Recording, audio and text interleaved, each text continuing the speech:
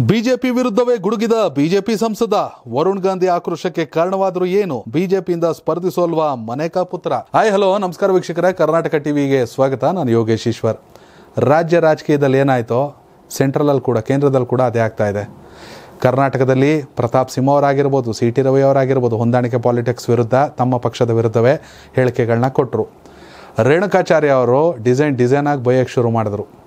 ಯತ್ನಾಳ್ ಅವರು ಕೂಡ ಈ ಹಿಂದೆ ತಮ್ಮದೇ ಪಕ್ಷದವರ ವಿರುದ್ಧ ಮಾತಾಡ್ತಿದ್ರು. ಹೀಗಾಗಿ ಶಿಸ್ತು ಸಮಿತಿ ಅದು ಇದು ನೋಟಿಸ್ ಅನ್ಕೊಂಡು ರೇಣುಕಾಚಾರ್ಯ ಅವರಿಗೆ ನೋಟಿಸನ್ನು ಕೂಡ ಕೊಟ್ಟರು ಯಾಕಂದರೆ ಸೋಲಿನ ಅಥವಾ ಬಿ ಜೆ ಪಿಯ ಆಡಳಿತವನ್ನು ವಿರೋಧಿಸಿ ಅವರದೇ ಪಕ್ಷದ ನಾಯಕರುಗಳಿಗೆ ಬೇಸರ ಆಗಿದೆ.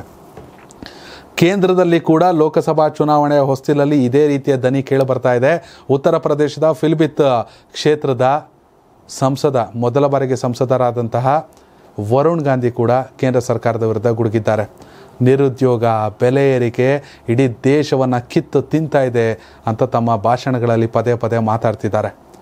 ಎರಡು ಸಾವಿರದ ಹತ್ತೊಂಬತ್ತರಲ್ಲಿ ಮೊದಲ ಬಾರಿಗೆ ಫಿಲಿಬಿತ್ ಕ್ಷೇತ್ರದಲ್ಲಿ ಪ್ರತಿನಿಧಿಸಿ ಪ್ರಚಂಡ ಗೆಲುವನ್ನು ದಾಖಲಿಸಿದ ವರುಣ್ ಗಾಂಧಿ ಅವರು, ಇದೀಗ ಬಿ ಜೆ ಪಿಯನ್ನೇನಾದ್ರು ಬಿಡ್ತಾರಾ? ಅಥವಾ ವರುಣ್ ಗಾಂಧಿ ಅವರಿಗೆ ಬಿ ಜೆ ಪಿನ ಟಿಕೆಟ್ ಕೊಡಲ್ವಾ ಅನ್ನೋ ಚರ್ಚೆ ಶುರುವಾಗಿದೆ. ವರುಣ್ ಗಾಂಧಿ ವರುಣ್ ಗಾಂಧಿ ಇತ್ತೀಚೆಗೆ ಯಾವುದೇ ಪ್ರೋಗ್ರಾಮಲ್ಲಿ ಕಾಣಿಸ್ಕೊಂಡ್ರು ಕೂಡ, ಯಾವುದೇ ಸಮಾವೇಶದಲ್ಲಿ ಭಾಗಿಯಾದರೂ ಕೂಡ ದೇಶದಲ್ಲಿ ಅಂದರೆ ಕೇಂದ್ರ ಸರ್ಕಾರದ ವಿರುದ್ಧವೇ ಮಾತುಗಳನ್ನ ಆಡೋಕ್ಕೆ ಶುರು ಮಾಡಿದ್ದಾರೆ. ಈ ಹಿಂದೆ ಫಿಲ್ಬಿತ್ ಕ್ಷೇತ್ರವನ್ನು ಅವರ ತಾಯಿ ಮನೇಕಾ ಗಾಂಧಿ ಅವರು ಸ್ಪರ್ಧಿಸ್ತಾ ಇದ್ರು. ಮಗನಿಗಾಗಿ ಕಳೆದ ಲೋಕಸಭಾ ಚುನಾವಣೆಯಲ್ಲಿ ಬಿಟ್ಟುಕೊಟ್ರು ಆ ನಂತರದಲ್ಲಿ ಅವರು ಸುಲ್ತಾನ್ಪುರಕ್ಕೆ ಹೋಗಿ ಸ್ಪರ್ಧಿಸಿ ಅಲ್ಲಿ ಸಂಸದರಾದರು.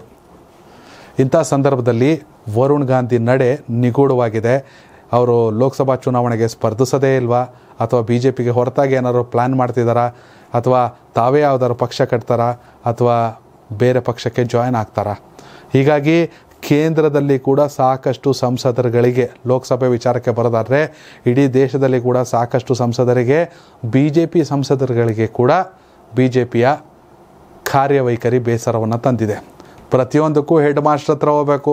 ಪ್ರತಿಯೊಂದಕ್ಕೂ ಪರ್ಮಿಷನ್ ತಗೋಬೇಕು, ಪ್ರತಿಯೊಂದಕ್ಕೂ ಹೈಕಮಾಂಡ್ ಮಾತನ್ನು ಕೇಳಬೇಕು, ಮಾತಾಡೋಕ್ಕೂ ಪರ್ಮಿಷನ್ ತಗೋಬೇಕು, ಎಲ್ಲಕ್ಕೂ ಪರ್ಮಿಷನ್ ಪರ್ಮಿಷನ್ ಪರ್ಮಿಷನ್ ಯಾವುದೇ ಒಂದು ಸಣ್ಣ ಸುದ್ದಿ ಅವರಿಗೆ ಬೇಸರವನ್ನು ತರಿಸಿದ್ರು ಕೂಡ ಯಾವುದೇ ಸಂಸದರಾಗಿರಲಿ, ಶಾಸಕರಾಗಿರಲಿ, ಮಾಜಿ ಶಾಸಕರಾಗಲಿ ಅಥವಾ ಮಾಜಿ ಸಂಸದರಾಗಿರಲಿ ಬಿ ಜೆ ಪಿ ಹೈಕಮಾಂಡ್ಗೆ ಸರಿ ಅನಿಸಿಲ್ಲ ಅಂದರೆ ಅವರ ವಿರುದ್ಧ ಶಿಸ್ತು ಕ್ರಮವನ್ನು ಕೈಗೊಳ್ತಾರೆ. ಗನ್ ಪಾಯಿಂಟಲ್ಲಿ ಕೆಲಸ ಮಾಡಬೇಕಾದ ಪರಿಸ್ಥಿತಿ ಬಿ ಜೆ ಪಿಯಲ್ಲಿ ಇದೆ ಅನ್ನೋದು ಸಾಕಷ್ಟು ಜನರ ಹೇಳಿಕೆ. ಪ್ರತಿಯೊಂದಕ್ಕೂ ಮೋದಿ, ಪ್ರಧಾನಿ ನರೇಂದ್ರ ಮೋದಿ, ಗೃಹ ಸಚಿವ ಅಮಿತ್ ಶಾ ಅವರ ಮೇಲೆ ಡಿಪೆಂಡ್ ಆಗಬೇಕು.